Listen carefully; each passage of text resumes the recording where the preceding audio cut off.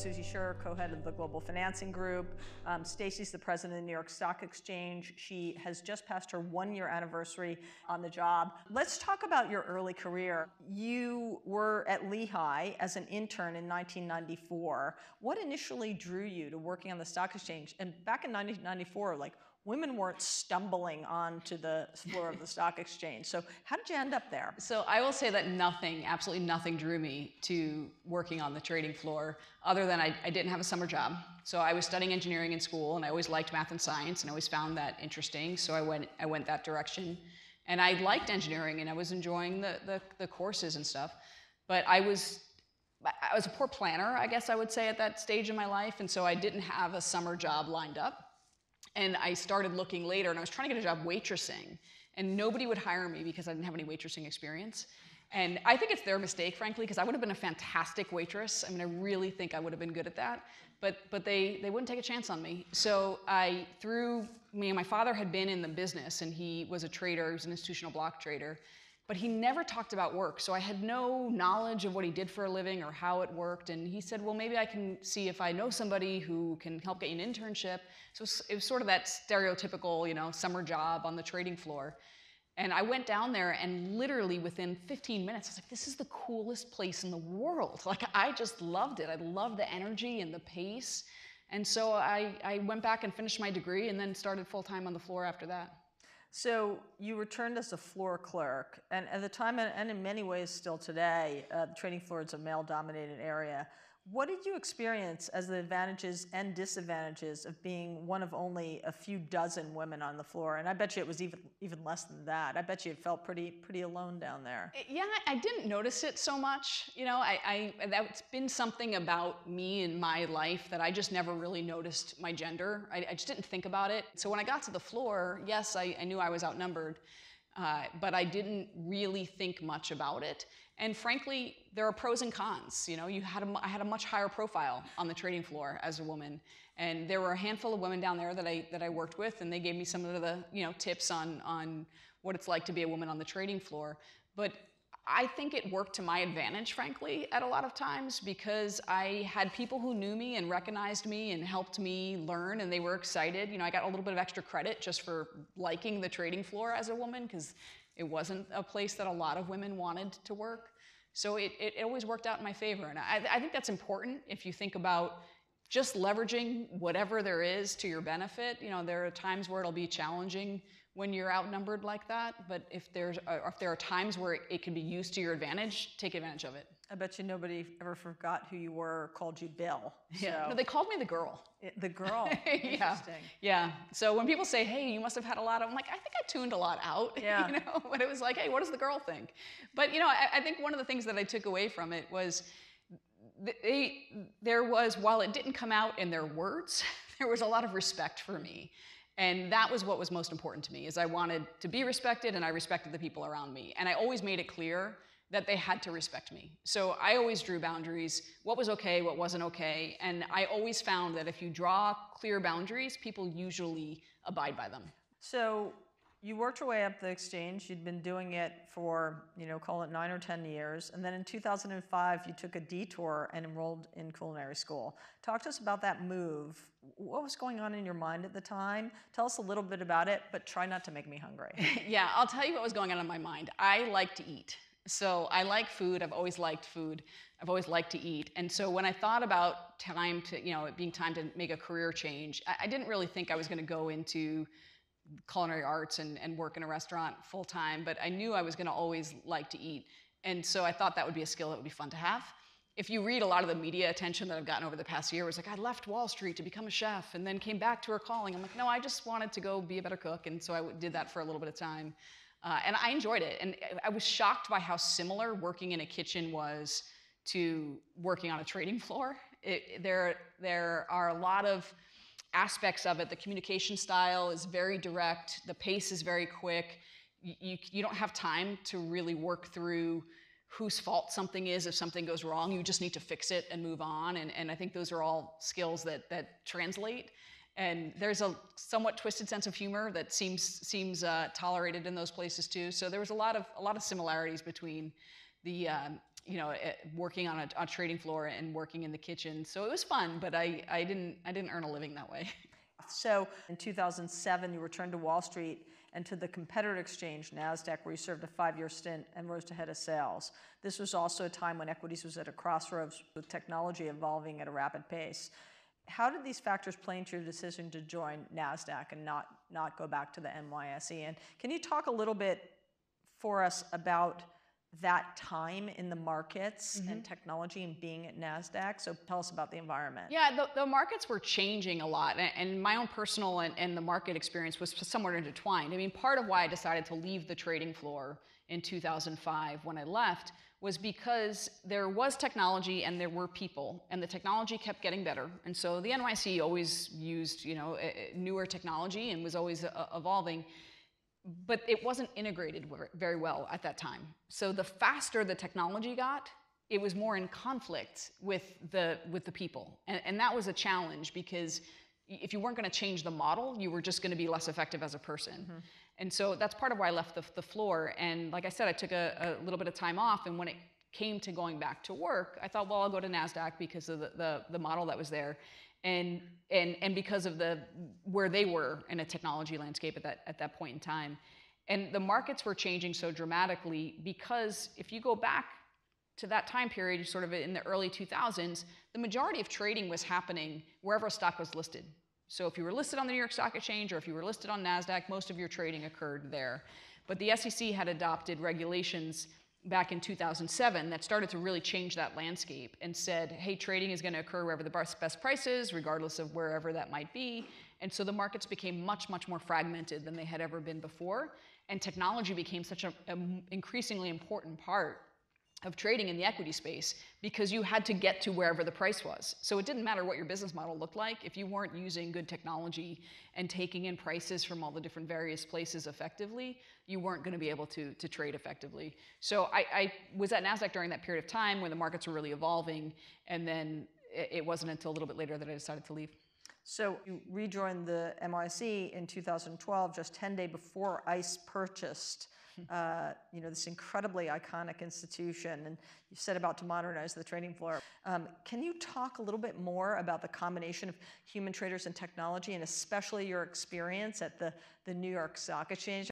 You know, it's interesting, and, and I'll touch a little bit on the ICE part too, because it was really interesting to take a job and you know, when I when I left Nasdaq, it was it was a hard decision for me to make. I learned a lot from that organization, and and really enjoyed the people that I worked with there but I, I knew it was, it was the right move for me at that moment in time. And I knew that at that point, NYSE was at a different place than it had been when I, when I first left. And they really were integrating technology much more differently than, uh, you know, in a much more effective way than they had when I, when I was there. So I wanted to be part of that, and I, and I, I felt like I could contribute, contribute a lot of value.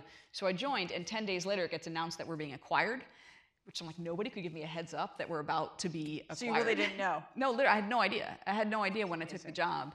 And I, uh, you know, I think with change comes opportunity.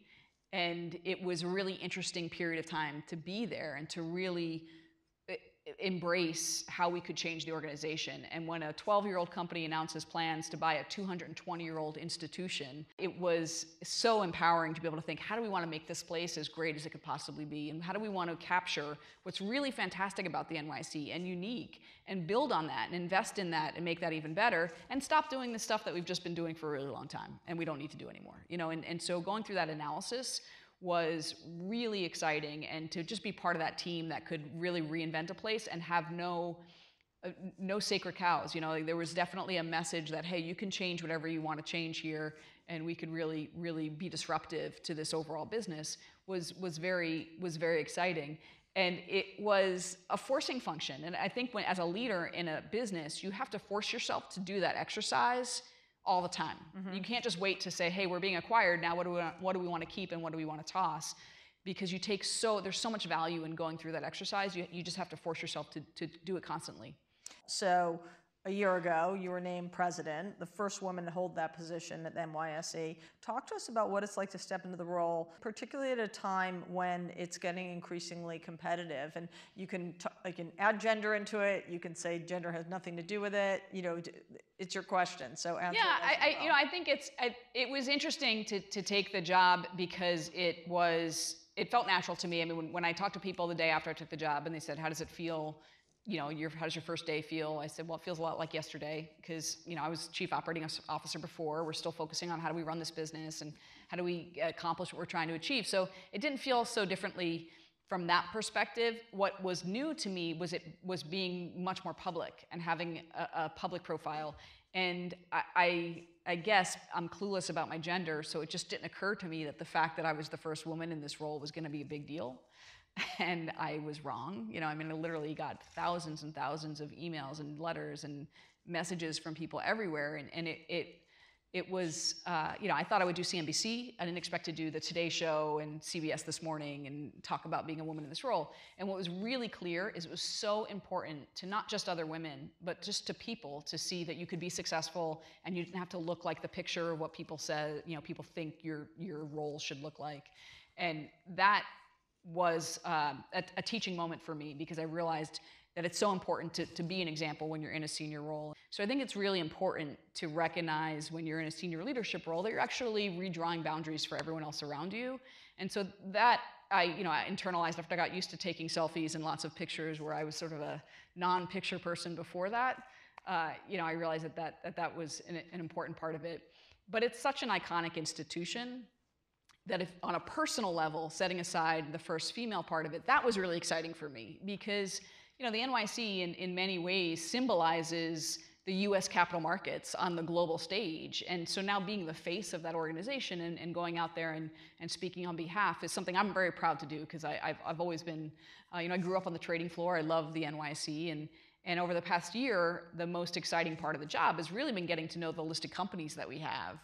Uh, that and the ways that they're out there changing the way we live, work, and play every single day and they're really changing the world. And that's, that's why our capital markets are here, and that's been exciting.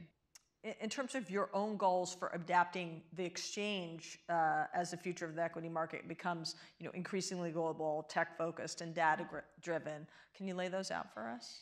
Yeah, I mean, one of the things that is, is top of my priority list is making sure that, that our country remains the premier capital raising venue, right? And, and if you look at what has been a driver of success of this nation, and one, you know, it's really been built on the premise that a dreamer or an entrepreneur can come here, have an idea. It doesn't matter what they did before or what their background is, but they can raise money and they can go out and build that idea. And importantly, along the way, other in, uh, others can share in their success and dream alongside them by investing with them. So those opportunities for investors, I think, is really part of what has made this country very, very unique and special. What we've seen is the number of public companies is down by half over the past, you know, 20, 25 years, and that's a concerning trend. Companies are staying private much longer. They're waiting till they're much bigger before they come out to market. And what mean, you know, what that means is that they, they have the the most rapid growth years earlier in their life cycle. So investors are missing out on that, the everyday investor. When a company stays private and comes out to market at a much larger valuation, it means that the public investors missed out on that. Mm-hmm. So that's certainly a big priority for me when we look at how do we right size the landscape here so that, that public investors have access to the, the most dynamic opportunities. When it comes to helping them raise money, yes, we use AI, we use blockchain, we use all these other things that are out there that are, um, you know, new technologies. But for me, that's just how do we how do we continue the goal of getting uh, achieving our mission? And our mission is to help companies raise money so they can go out and change the world and provide investors with opportunities. From Pinterest to PagerDuty to Uber, we're seeing a surge in tech IPOs. 2018, we saw more billion dollar tech IPOs than ever before. And obviously, 2019 is on uh, pace to break those records.